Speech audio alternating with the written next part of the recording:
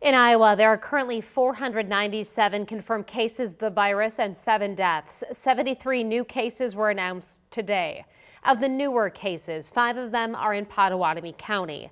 Iowa Governor Kim Reynolds gave an update on the state's response, saying 61 Iowans are hospitalized, 85 have recovered.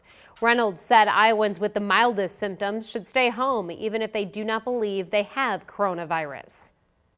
We're asking a lot of Iowans, but I am saying, and we are saying, best on, based on um, data, that if we can really do our part, each and every one of us, hopefully we can get through this sooner rather than later every day.